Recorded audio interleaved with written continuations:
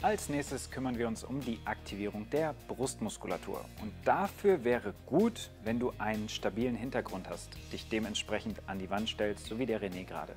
Also dass der komplette obere Rücken an einer geraden Oberfläche Kontakt hat.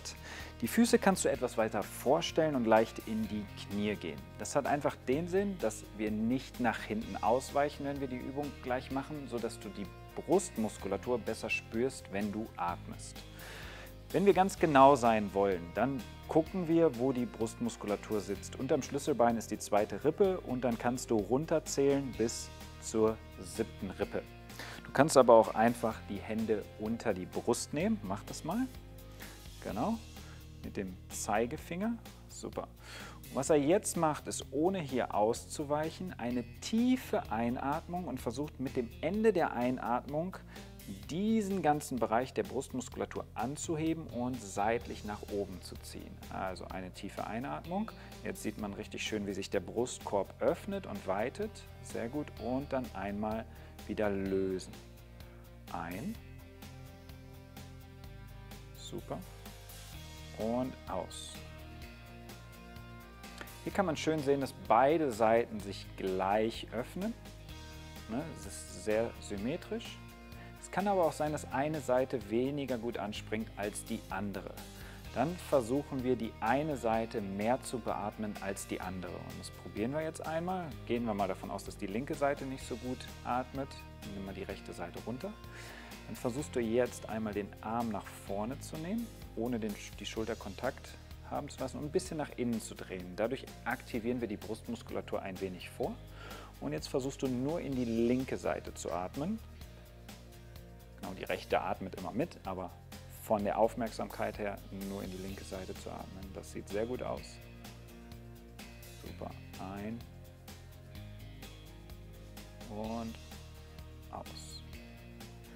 Davon kannst du auch wieder 10, 15 Wiederholungen machen und bist damit gut bedient. Als kleine Variante für die Aktivierung der Brustmuskulatur zum Atmen können wir ein Textilband benutzen.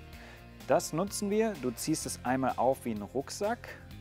René macht das einmal vor. Eine Seite hält eng und auch jetzt versuchen wir wieder die linke Seite zu aktivieren. Das heißt, die Brustmuskulatur aktivieren wir schon vor in ihrer Anspannung, dass er den Arm nach vorne nimmt und ein bisschen nach innen dreht. Genau, dreh dich nochmal ein bisschen seitlich. Gut, und dann sehen wir schon, wie der Brustmuskel auf der Seite arbeiten muss. Und trotz der Arbeit, die der Muskel gerade verrichten muss durch die Anspannung des Bandes, soll dieser auch bei der Atmung helfen. Und das probieren wir jetzt nochmal. Tief einatmen und versuche hier richtig schön reinzuatmen. Sehr gut, also er kommt hoch und dann langsam wieder aus. Sehr gut, einmal wieder ein. Gut, schön hoch hier und aus. Super. Und noch einmal ein Muskulatur steuert gut an und wieder aus und ein